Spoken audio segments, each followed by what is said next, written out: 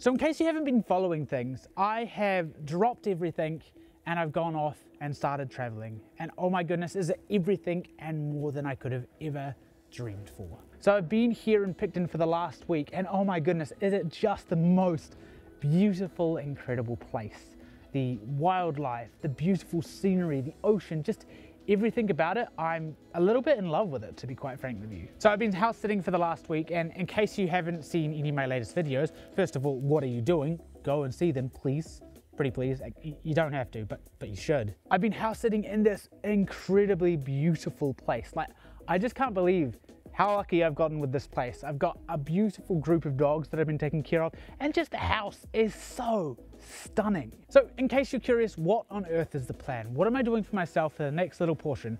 Honestly, there's a heck of a lot of blanks with that and that's totally cool. First and foremost, my priority is to get out and just see things, to experience life in a different way than I have ever done and so far that's, that's going fantastically. Secondly, it's to get out and capture more content. The fact is I love what I do. I love my photography and videography, but I've never had much of a skill for growing this platform in any way, whether it be online, whether it be through, you know, just regular gig work. I feel like this way of being out and traveling and trying to earn some money like that is going to be incredibly beneficial for just my creative side, not only because it allows me to open up a hell of a lot more doors, but also because I'm actually going to be out doing it almost constantly. And at that point, you've got no choice but to grow.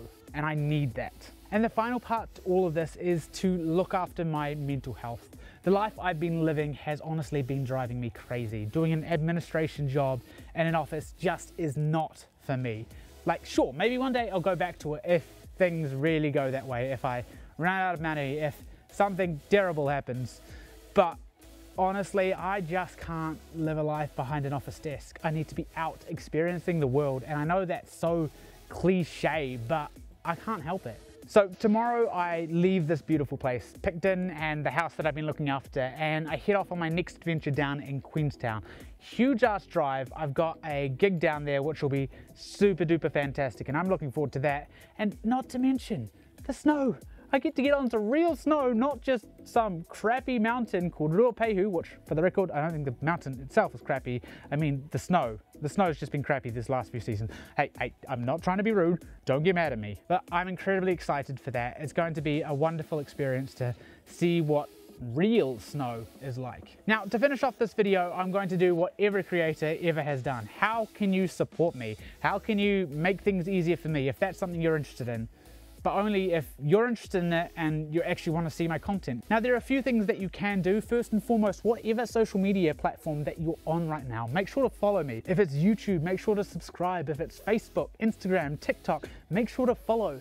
If if you enjoy a video, chuck on a like. It really helps a lot as far as the algorithm is concerned because there's the, all the bull crap behind the scenes stuff that, that YouTube is like, hey, hey, you might make amazing content, but if people aren't responding or reacting, we don't give two craps about you. And honestly, the feeling is mutual. And on top of that, make sure to leave a comment if there's something you don't like, maybe. If there's something that interested you, if there's something you recommend I should do, just chuck down a comment because again, it helps that stupid algorithm and it means that more people might get to see what I'm doing. But if you're not really into this whole social media aspect of things, thank you for watching this video first and foremost. I actually do some prints. I'm a photographer, of course, as well as a videographer.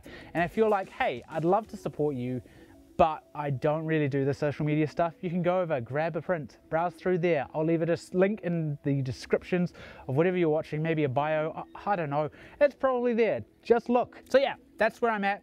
This is really weird, I haven't done one of these videos in a very long time, but you know what? that's okay. It's fun. I like it. Nice. Picasso.